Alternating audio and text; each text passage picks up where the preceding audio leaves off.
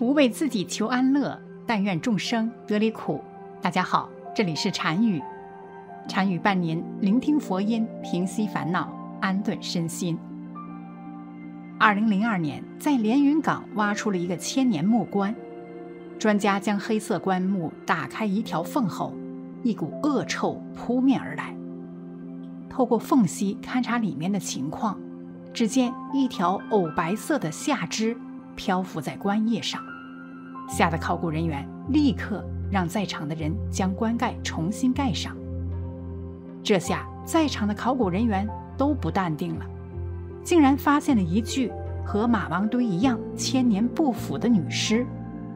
将不腐女尸发掘出来后，考古人员发现，她的尸体保存得非常完好，肌肤还有弹性，连指纹、脚纹都清晰可见。不仅如此。这座墓葬还是罕见的两椁四棺的大型汉墓，在里面发现了大量的青铜器、玉器，还有古代度量工具、漆木尺、十一枚木牍和两枚铜印。其实，这座古墓的发现还要从2002年连云港的一条道路施工说起。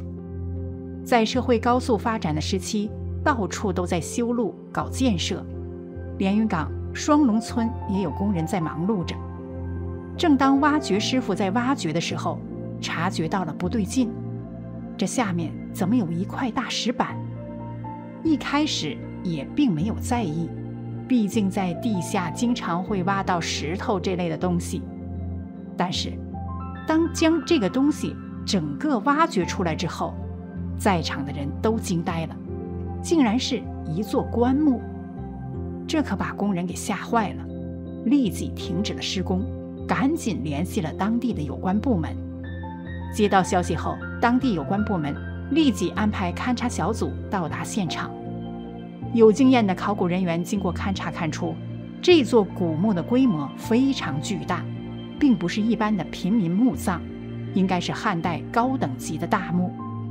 由于棺椁的石盖板在施工的时候已经被铲了起来。墓室里面的景象已经显露无遗，这竟然是一座两椁四棺的墓葬。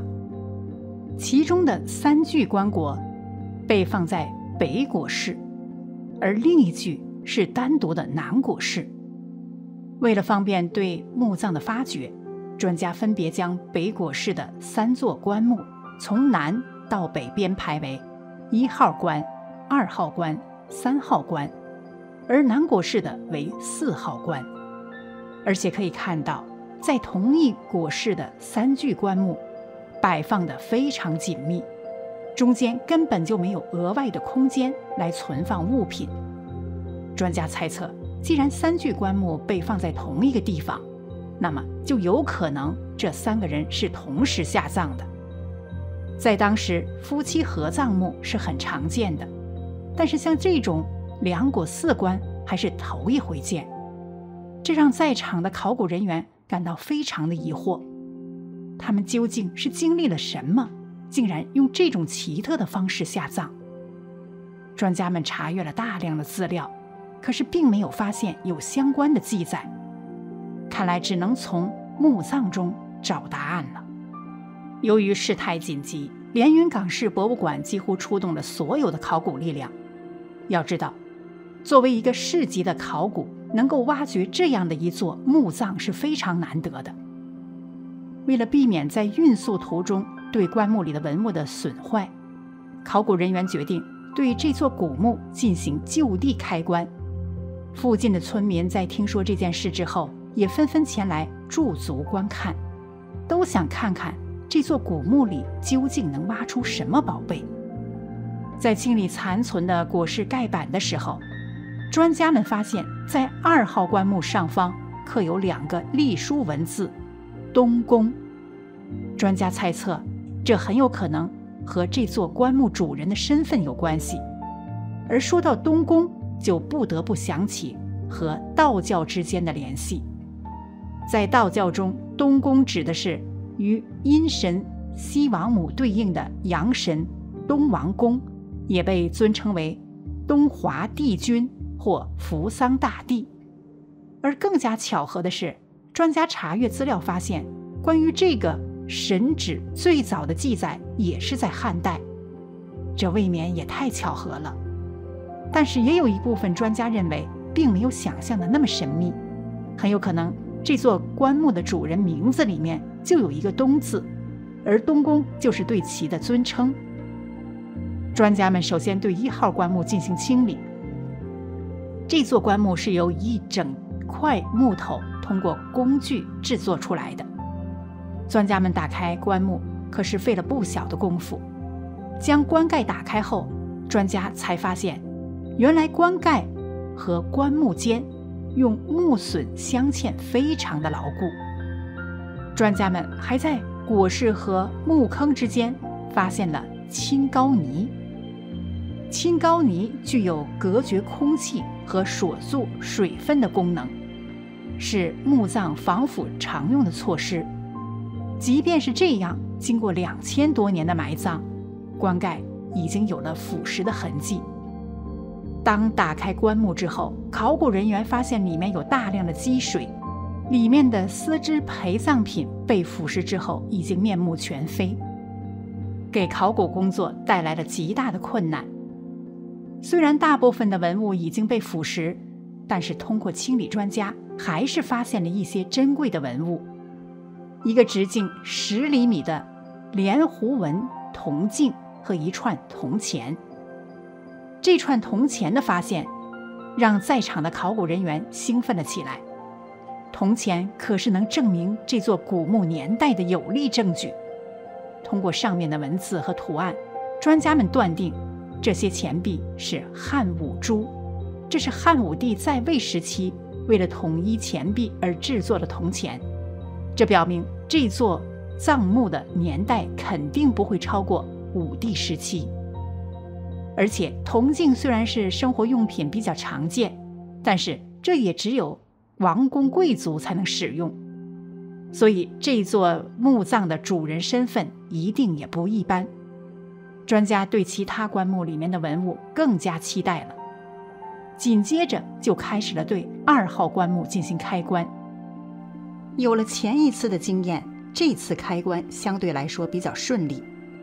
打开棺盖后，专家们发现二号棺木里面虽然也有大量的棺液，但是却也和一号棺木里大不相同。这座棺木里面的棺液就像是一汪清水一样，可以清晰地看出棺木里的景象。考古专家通过清理发现，里面是一位男性的尸骨，应该就是这座古墓的主人了。在里面还出土不少珍贵的文物，其中让人惊讶的是，在棺木里还发现了一支毛笔和梳子，这是古墓中很难保存的。不过最珍贵的还是里面出土的木牍，上面的文字很有可能会带给人别样的惊喜。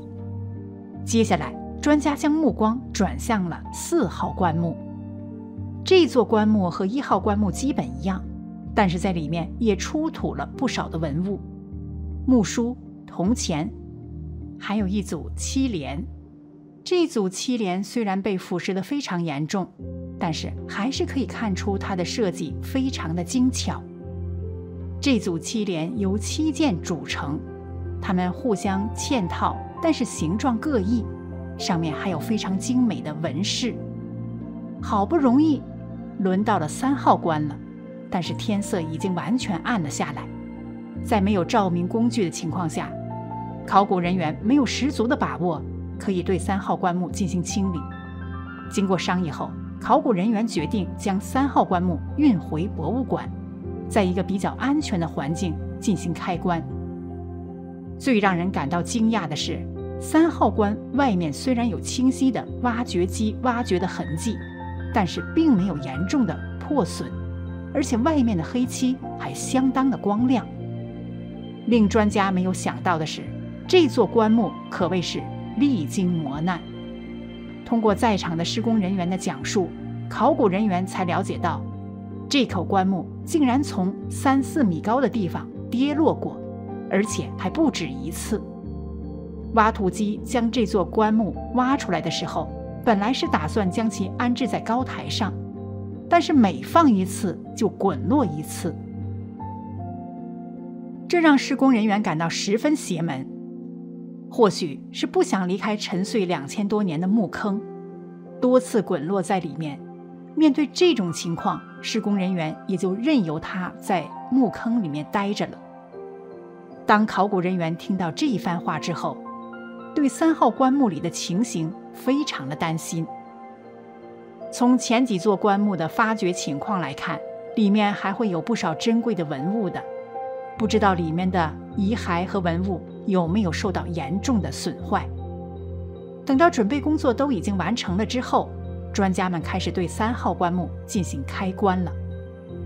打开一条缝后，有考古人员就向里面去。准备看看里面到底是什么情况，结果里面有一条人腿在上面飘着，怎么有具尸体在里面？在场的考古人员一时间不知所措，赶紧通知了在向上级汇报挖掘成果的馆长。当连云港博物馆的馆长赶来后，第一时间看了棺木里面的情况，真的是一条保存完好的下肢。于是，他立即让在场的人员将棺盖盖上。在场的人都没有发觉不腐尸体的经验，害怕贸然的发掘会对不腐尸体造成不可挽回的损害。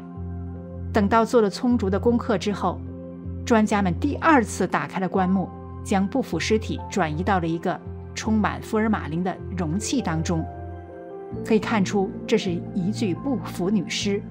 而且容貌非常俏丽，有考古人员按压尸体的皮肤非常有弹性，手纹足纹都十分的清晰，保存的十分完好。将不腐女尸安置好后，专家们开始继续对棺木里的文物进行清理，里面有铜钱、铜镜、漆木尺，尤其是这件漆木尺，给研究当时长度度量单位提供了重要证据。更加令人惊喜的是，在三号棺木里，同样也出土了木牍和铜印。这枚铜印不同于二号棺木里的那样锈迹斑斑，反而是十分清楚，而且很清晰地看到上面刻有“林氏惠平”，而上面的龟钮，证明墓主人最低也是个县令级别的。但是由于没有充足的证据证明墓主人的身份，所以墓主人的身份也成了一个谜。好了，本期的视频就为大家分享到这里，感谢您的观看。禅语陪您聆听佛音，平息烦恼，安顿身心。如果您也喜欢本期内容，请给我点个赞，还可以在右下角点击订阅或者分享给您的朋友。您的支持是我最大的动力，咱们下期再见。